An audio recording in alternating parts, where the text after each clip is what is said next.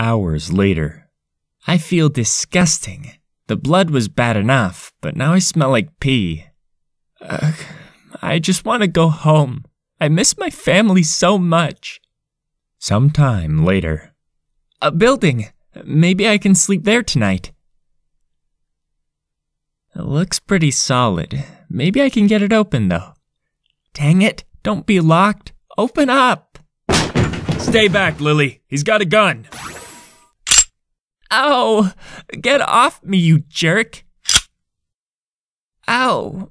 I think you made my leg worse. Shut up, you little raider. Wait a minute, Iron Sights. I don't think he's a raider. Whoa, her eyes. I must be seeing things after getting hit by that door. How can you be so sure? Look at him. There's blood all over his mouth. Whoa, just leave me alone. I'm just lost. Leave him alone, Iron Sights. Can't you see you're scaring him? Lily, I have to protect the other Crusaders. We've stayed safe because we avoid strangers. All strangers. What the hey is going on out here? Iron Sights is being mean. Hey, Tattletale. I'm just trying to keep this mini raider out. He's not a raider. Hey, hey, every pony, calm down. Iron, you must be losing your edge. This kid ain't a raider. Blood, sure. Crazy? No. I think he's just taken a hell of a beating. That's true. Just please help me. Please. I don't trust him, Amber. Hey, you and I are both in charge. We'll bring him in and let the other Crusaders vote on it. Fair? Uh, fine. So, you're not going to hurt me, right?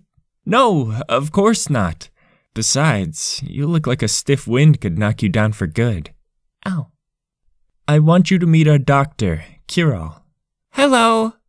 These are the other Crusaders Patchwork, Bolt, and his big sister, Rosette. Wow, a new pony? This is so exciting! Was he playing in the red paint like those sleeping ponies we saw earlier? Huh? Hey, hey, Bolt. Give him some space before you knock him over.